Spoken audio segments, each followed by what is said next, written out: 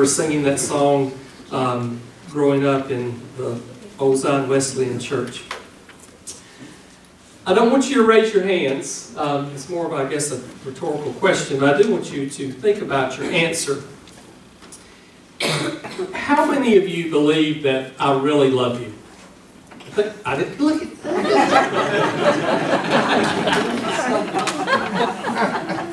Spontaneous. Okay. Um, asking that, could you, and I don't want you to, except in your head, could you name some specific ways that you believe that I love you? Is that, are those, are there attributes that you could say that I have and that you could put that into words some way that, that I love you? Now, whether your answer was yes or no, or whether you raised your hand or not, having that, I want to say this to you. I really do love you. And my, um, as I walk out this uh, Christ call in my life, my desire is to walk it faithfully with you and lovingly to you. Faithfully with you and lovingly to you. One of the greatest needs that we have in our life is love. When a person is unloved, you will see things start to deteriorate in their life. There has been case study where you put someone in isolation, and we see this in the prison industry, uh, where they, they put someone in isolation, and their, their whole uh, self begins to break down. Um, and it is just amazing to see what happens when that uh, love is withdrawn from someone, or that they can't in turn love someone else. But when we love, and when we are loved by others, it will aid us psychologically, it will help us physically. There are studies that shown, has shown that love helps to heal us, to aid us as we walk. And um, so it's not you know, too far-fetched to realize that when Matthew wrote in the 12th chapter, in the 30 and 31st verse, that the greatest commandment is that to love God and to love one another. That is the command that we have. So how do we love one another? Love is a feeling, right? It's, it's a feeling that we have. Uh, but I believe it's much more than that. I believe love is also just wrapped up in many things, and one of that is action. Love is action toward one another. And in these 16 verses, or 16 chapters of uh, this first letter to the church at Corinth, Paul is writing as our study has been to focus on holiness, 2020, a focus on holiness. He is calling them to a holy life, and he is calling them out of love to do this. And he is talking about their actions. And even as he loves them and is calling them to righteousness, he challenges them. He disciplines them. He even chastises them. But he does it out of love because his desire is for them to walk with this holy life before God, before Christ, their Savior. And so his desire, and I made this statement last week, and I had someone I won't mention by name ask me about this and said, I want to, I want you to flesh this out a little bit, and said, you could do it in Sunday school, but I'm going to do it here. Paul's desire is not only that they would trust him, but that they would have the foundation of the truth. It was more than just trust. He wanted them to be in the truth, to have the truth of what the truth meant. And so while he did want them to trust him, I mean, if I was to ask you, do you trust me? I said, do you love me? Do you trust me? Most of you say probably yes. And if I was to say, okay, Amy, I want you to go do something, uh, unless it was uh, morally incorrect or something, she may say, of course, you, you want me to go do that, I'll go do that for you because I trust that you're not going to lead me astray. The problem with that is that I'm human. And though I would never lead you down a road intentionally astray, and I'm never going to preach you false doctrine, there are times when I may tell her to do something that actually is not the right thing for her to do. just because I'm human and I make mistakes. And Paul understood that asking them to trust him was one thing, but he had to have the foundation of the truth for them to have the foundation to move forward in this call of a holy life. God's truth is never wrong. God's truth is the foundation on everything that we believe. God's truth to us is the promise that He has given to all mankind. God's truth is where the church stands. There is no other place. And here is the thing God's truth was given to us because He first loved us. Because He first loved us. In many ways, these last verses of chapter 16 that we're going to close out this study of 1 Corinthians 1 today mirror back to that 14th verse that we ended with last week, and that is, Let all you do be done in love. And then in these next verses, 15 to 24, which we will be studying today, looking at today, it's not just niceties. It's not just a salutation. It's not just a customary or courtesy closing of a letter. This is God's word all the way to the amen. And God has purpose for these words that Paul closes out this letter. And what we're going to look at this morning is marks of love in believers. And there's several marks that he gives us in this chapter. Franklin, would you cut that air down a couple of notches, see if it'll cut on? Thank you. So if you have your word and would like to follow along, 16th chapter, last chapter of Corinthians. This is the, uh, as you're turning there, uh, the 44th sermon in this, uh, this series. And so um, next week we will begin in Matthew's Gospel as we begin the Lenten season and our journey to Calvary. So verse 15 of the 16th chapter. Now I urge you, brethren, you know the household of Stephanas, that they were the first fruits of Achaia, and that they have devoted themselves for ministry to the saints, that you also be in such a subjection to such men and to everyone who helps in the work of the, and labors. I rejoice over the coming of Stephanus and Fortunius and Achaicus because they have supplied what was lacking on your part. For they have refreshed my spirit and yours. Therefore, acknowledge such men. The churches of Asia greet you. Aquila and Prisca greet you heartily in the Lord, with the church that is in their house. All the brethren greet you. Greet one another with a holy kiss. The greeting is in my own hand, Paul. If anyone does not love the Lord, he is to be accursed.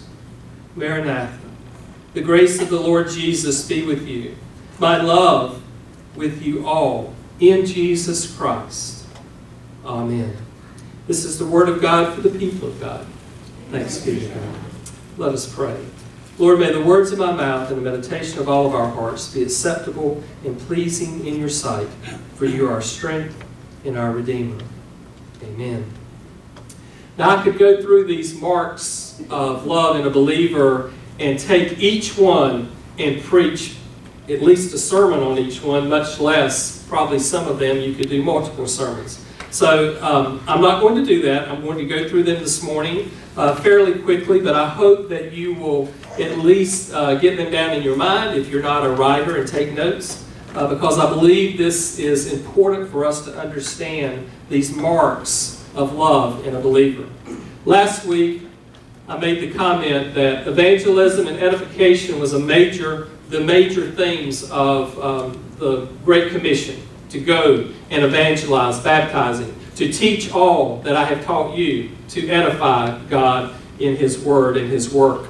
And so the first mark that Paul lifts up in these closing verses is that of evangelism. In 15a, he says, The household of Stephanas, that they were the first fruits of Achaia. Now, Paul, in his first missionary journey, Um, he went to that lower parsh, uh, portion of Achaia. He went um, uh, the, the province of Greece, the lower southern part of Athens and Corinth. And uh, while he tried to minister to the Jews in Athens, they rejected him. Uh, they really didn't want anything to do with what he had to say. As he went into Corinth and began to preach, Stephanus and his household were one of the first Gentile converts that Paul had. And we know that, that he baptized Stephanus, because if you look in chapter 1, 1 at verse 16, it says, I baptized Stephanus. I'm not sure if I baptized anyone else, I don't remember, but I know I baptized him. And so this man and his family, his household, had come to faith in Jesus Christ. And in the scriptures, when the household is used, it talks about the entire household the, the husband, the wife, the family, and even those servants or slaves that they had often would come to faith in Jesus Christ. So Paul was evangelizing and this journey, and people were coming to Christ. Through evangelism, the early church expressed the love of God the steadfastness love of Christ, and his truth and sound faith. I was reading uh, the other day and I found this quote, and it was by an anonymous source. And so I'm telling you that because I don't know who penned it, but I thought that it spoke to this topic of evangelism. Someone has said, Evangelism is the sobs of God. Evangelism is the anguish of the cry of Jesus overlooking the doomed Jerusalem. Evangelism is the call of Moses. Oh, this people have sinned, he said. Yet now, if thou wilt, forgive them. If not, blot me, I pray, thee, out of the book thou hast written. Evangelism is the broken cry of Paul for the lost. Evangelism is the cry of John Knox. Give me Scotland, he said, for Christ or I will die. Evangelism is the weeping in the night of a parent who has an unsaved child. End quotes. Folks, I think that we need to ask God for that kind of love. A love in our heart for others to come and know who Jesus Christ is.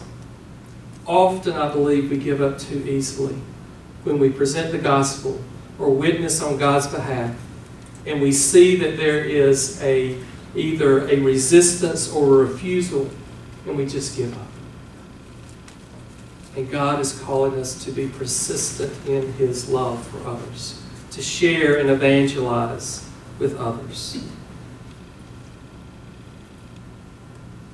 And we have to remember this the love in which we live and the love in which we witness is only ours by the grace of God. We're going to look at in a few minutes 1 John 4, but 1 John 4:19 says that God gave us this love because he is love. In 2 Corinthians 5:14, Paul says that it is Christ's love that controls us. Having the, the love of Christ in us is what controls us. And so, evangelism or evangelistic love, any kind of manifestation of Christ's love in our life, cannot be generated on our own by our own human flesh. It comes from Him if it is true love and if it is evangelistic in nature for His purpose, and His purpose is for us to bear fruit to glorify Him and to bear fruit. And so, this first mark of the Christian, this believer of love, is evangelism. How are we doing with that? The second one is service to others. He finishes this 15th verse with saying, these men, these Stephanas and his family, his household, they were devoted, they had devoted themselves for ministry to the saints. The word devoted here in the Greek, Greek is tasio, and uh, it means to set in order. And the Greek word for ministry is diakonia, and it means service. And, and so Stephanus and his family set in order their service to the saints of the church, to the other believers that had need. And they did so on their own initiative. Now, the early church would set and look at talents and gifts of men, and in some cases women, we see, that had the gifts and talents for the ministry of the church. And they would appoint them to do specific things. We see this in the early church when not only they gathered for prayer, for preaching, for the Lord's Supper, but they were told to go out and minister to the widows, to the orphans, to feed the hungry. And so the leadership would set aside or say, I see these gifts in you and you need to go and do this. And we, of course, see that we get our deacon ministry or diaconate out of these Greek words that mean service. Barclay says that this willingness of Stephanus to lead on his own with his family set up this official office that the church later put in place. Because you see, he did not wait for the church to tell him to go. His service to others, because he loved them, because he had given his life, his family had given his, their life to Christ, they saw where there was a need, they needed to act in love.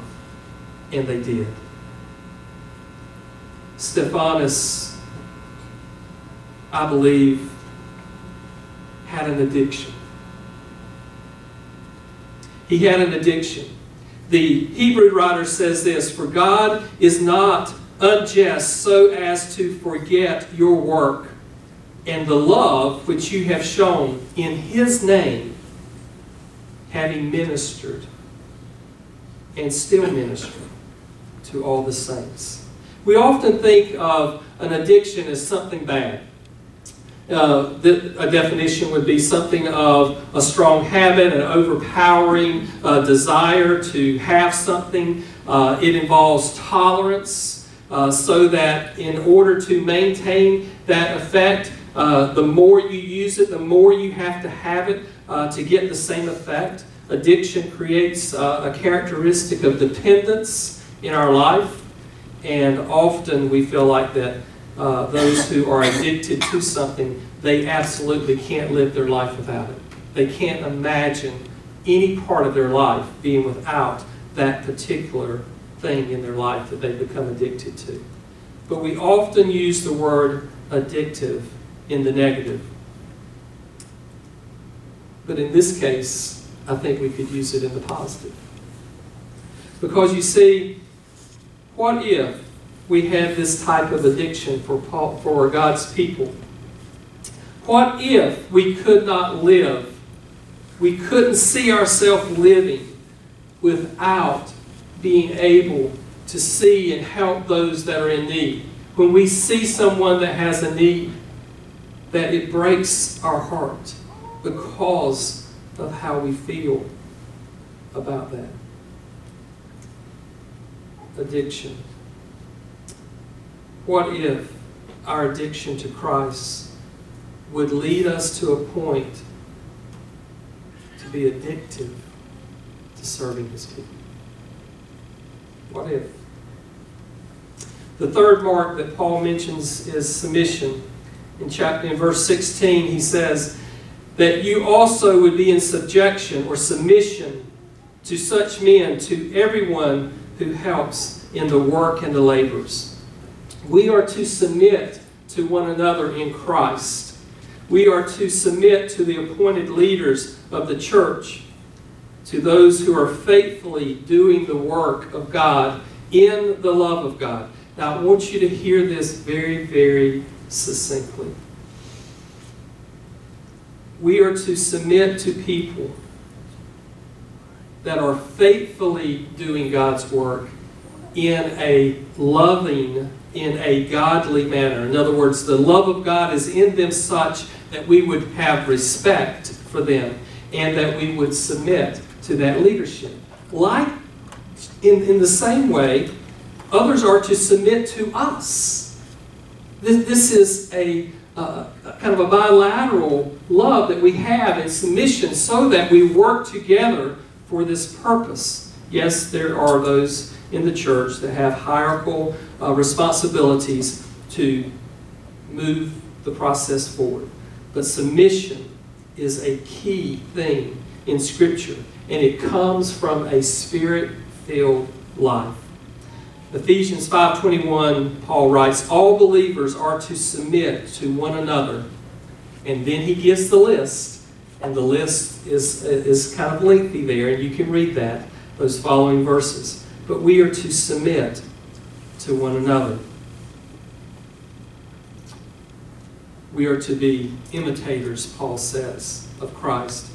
11.1 in 1 Corinthians says, Be imitators of me just like I am also of Christ. He knew that the only way that we could be submissive to one another because of our human nature was to become more and more Christ-like. Christ people are not to fight for their own rights, privileges, and respect, but to seek out and follow the Lord Christ, His Holy Spirit, and leading in our walk with Him, in the teaching and examples of others. True, true love brings true submission. Now, going to say this, and um, some of you, I don't think any of you will take issue with it, but you need to kind of process it. Anyone that is abusing someone and says that they're doing so out of the love of Christ, man, you got to, it's just red flags. Because you can't love someone in Christ. You cannot be spirit filled in Christ and mentally or physically abuse someone. It's wrong. It can't happen. There's no way you can convince me that God ordains that in any way. But I'm telling you over and over again, you will hear mostly men, some women, ordained by God that God gave me this and said I need to be uh, abusive or I need to have this action with my spouse or loved ones. It is not part of what God has called us to do. So when you think about submission, you automatically need to go, when it comes to God's Word, you need to go to being spirit filled in Christ. And when we have this love, the true submission, we would say countless, countless conflicts, squabbles, hurt feelings, hard feelings. We would say countless errors in our walk. And I believe that God's people would be happier, and more productive if we would submit to one another in Christ through His love that He has given us. And those are the keys to submission. How are we doing with the submission mark of love in believers? The next piece is companionship. And in verses 17 and 18, Paul says that he rejoices that Stephanus and Fortunus and Achaicus comes and visits him in Ephesus. Paul is writing this letter in Ephesus. Turn that up a little. It is uh, writing this letter in Ephesus. And he is um, being visited by his friends from Corinth.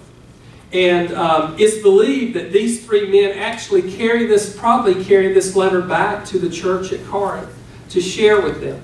But I love what he says he says that they refreshed him in the Spirit. They refreshed him in the Spirit. One of the finest compliments that you could probably ever be paid, one of them, is for a Christian friend of yours to look at you and say, Bill Joyner, you refresh me in my spirit.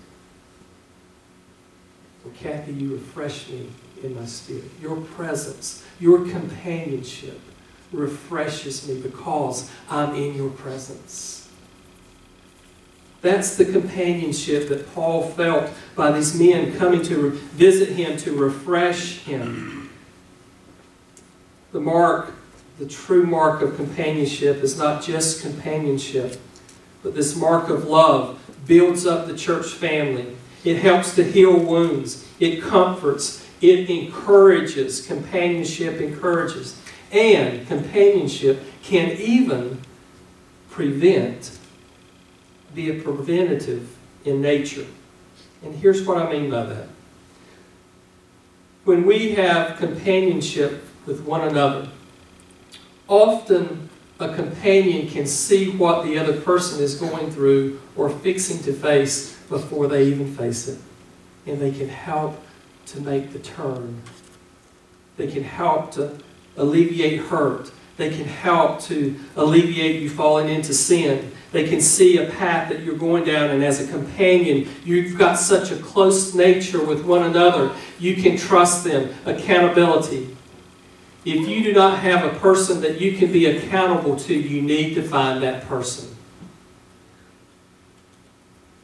You need to find that person that you trust, that you can say, This is what I'm thinking, this is what I'm feeling, this is what I'm thinking about doing or planning to do. What do you think about that? How can you help me process this? That sounding board is so important for us as Christians. And it needs to be another Christian that you have that companionship with in your life, that you can kind of banter off of as you go through major things in your life. I've got two of my friends um, that I used, used to be a part of the Emmaus community, and, and they were too, and, and none of us are now, but we've maintained that accountability. I know that I can go to any one of those two men and sit down with them and share anything on my heart and they're going to be honest with me, and they're going to hold me accountable just like I do them. Companionship. Companionship. And it's done out of love. And when you do companionship out of love, you will find that respect will develop. Respect will develop. What kind of companion are you? What kind of companion are you to your wife? your husband, maybe to your parents, co workers, church family. The next one is hospi um, hospitality. And uh, Aquila and Priscilla, in, in your version, as I read, you may have Prisca, but that is Priscilla. Aquila and Priscilla were friends of Paul. Uh, when he went to Corinth, they opened his house to, uh, uh, they opened their house to him. They were tent makers, fabric workers, uh, and they had something in common. And Paul stayed with them probably for the, the, the months, uh, the year and a half or so. He, was, he probably stayed with them in their house as he worked, as he evangelized, as he preached the gospel. And um, they became dear friends. As Paul went to Ephesus, Aquila and Priscilla went with them, went with him, and they continued to open their house to him. We know that in the early century, this first century, house churches were the norm. There weren't buildings like this for the church to go to. Now, there were still synagogues that the Jews went to, but often the house churches were where the Christians came to worship where they came to, uh, to experience um, prayers together, Holy Communion, is where they looked at the church family around them, those believers, saints as they would call them around them, and see what the need was that needed to be met. And these were done out of the houses. And Aquila and Priscilla would open their house to those who were coming from other towns or other cities that needed a place to stay. They would open their house for those that had need. Hospitality. And Paul is commending them for doing that. A supreme mark of being a Christian neighbor is to have hospitality.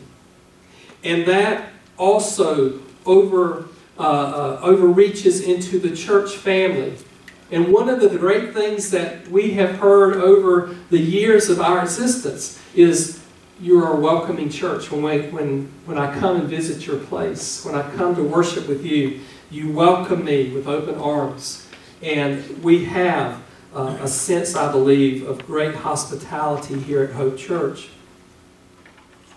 But Paul would even want us to go even further to say it needs to be a notable mark of your own very being as you walk this Christian life.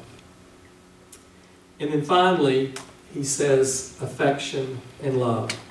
These last verses, 20 B through 24 depicts love, this love and affection. He talks about a holy kiss. Um, Now, I know that some of you may say, well, I'm uncomfortable with a holy kiss.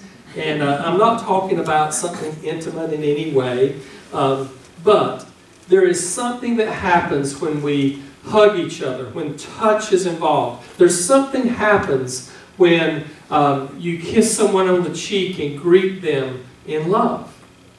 Out of the five senses, uh, all of them are very important, but something special happens in touch compared to smell or seeing or hearing uh, or tasting.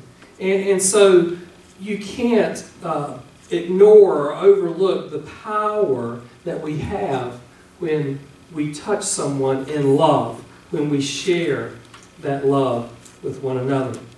We need to find ways to continue to show affection for those not only within the church, but those that we meet and greet. This needs to be a mark of our believer, of our love and as a believer in all of our walk, much less in the church.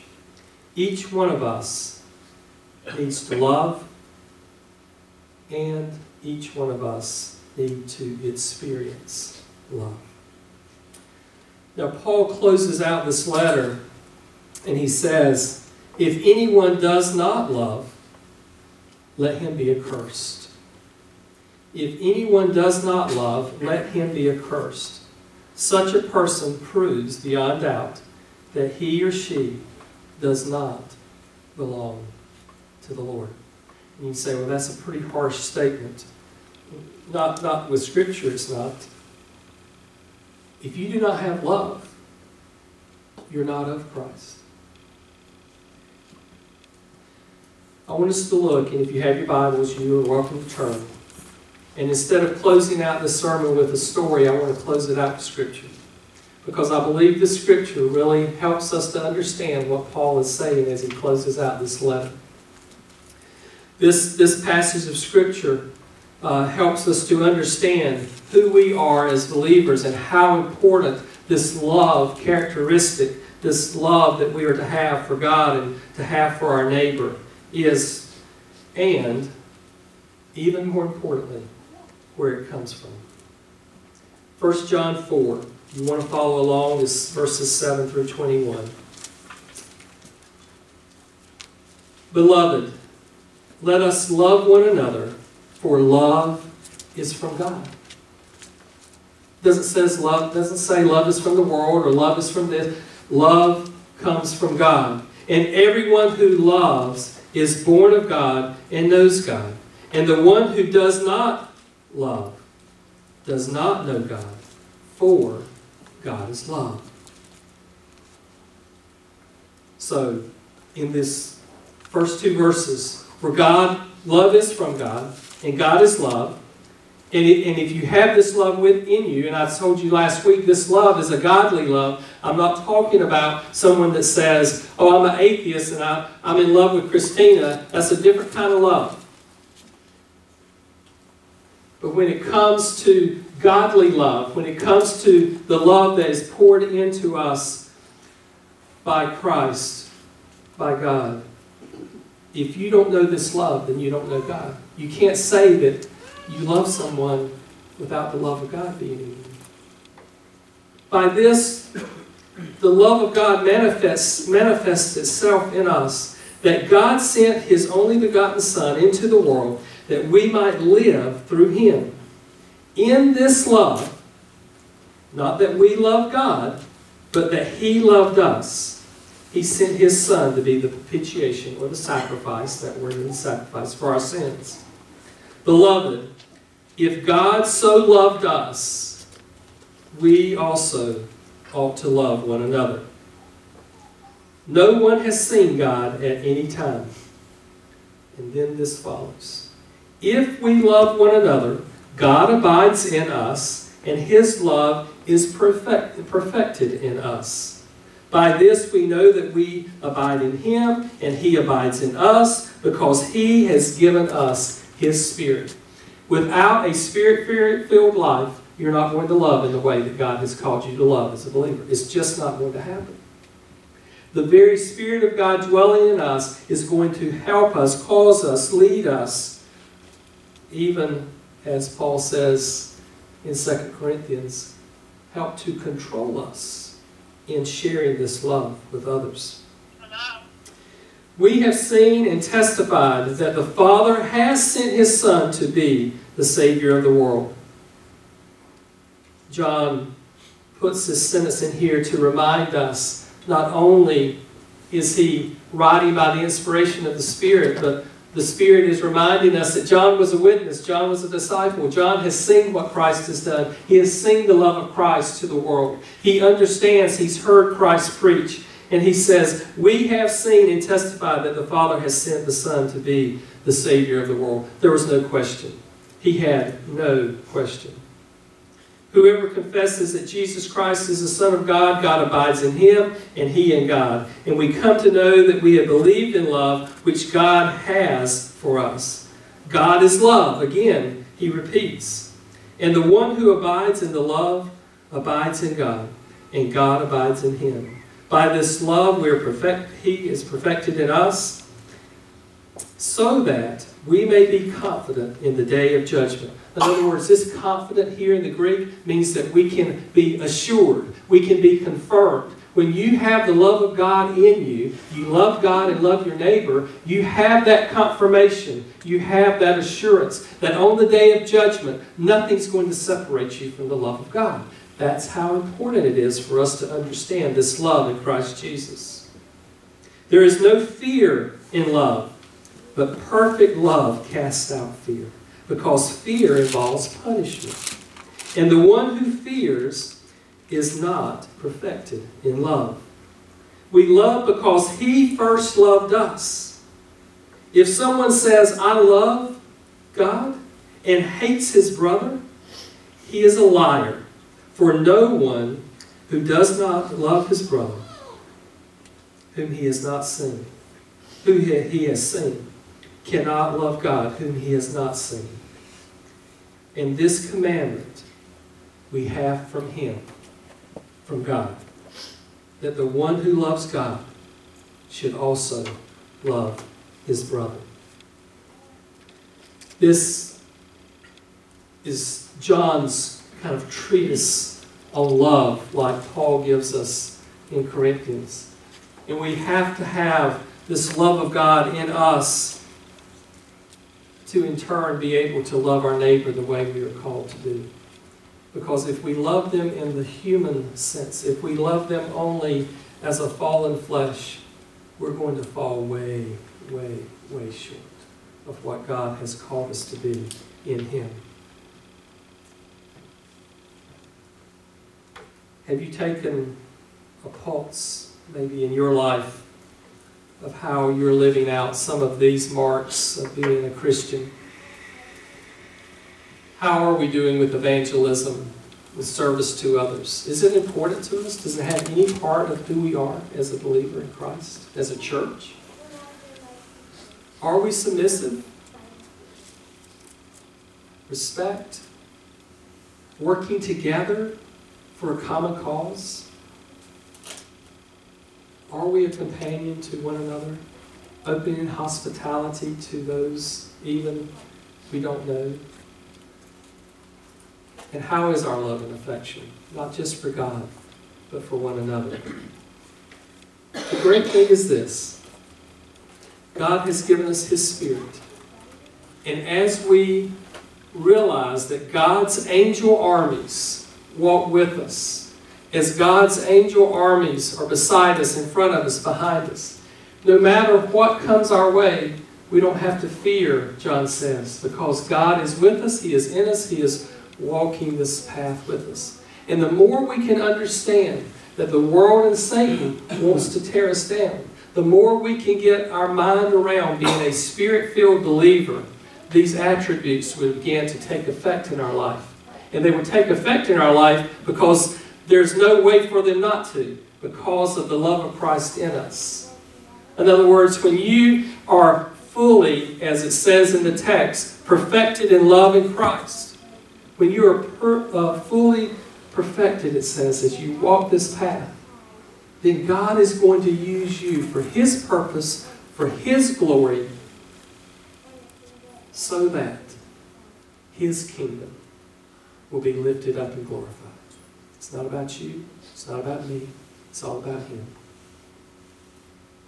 And so as you go through this week, think a little bit on these marks of love in believers that Paul closes out this letter with. He loved them enough to discipline. We as parents discipline our children not because we hate them, but because we love them. He loved them enough to guide them, to even say, You're on the wrong path. And that's part of who we are as a church, as, as believers. And so we stand firm on the truths, trusting in God, but knowing that His truths are always and forever faithful. Why? Because He is. Because He is. Let's pray. Father, thank you for this letter that you have given us. We are so thankful for this study in 1 Corinthians and this call to a holiness of life. And I pray, Father, that all of us, including me, would examine our life and see what marks that we need to work on to share the love and affection, the care um, that, that you desire for us to have for a lost world, that you desire for us to have for the, the saints and the believers, the desire that you have for us, Father, to be Christ like in all that we do. And so, Father, I pray that you would just use us and guide us in the Holy Spirit that you have given us so that others can see the living Christ in and through us as you walk with us daily. Father, we will give you thanks. For it's in your Son's name we pray. Amen.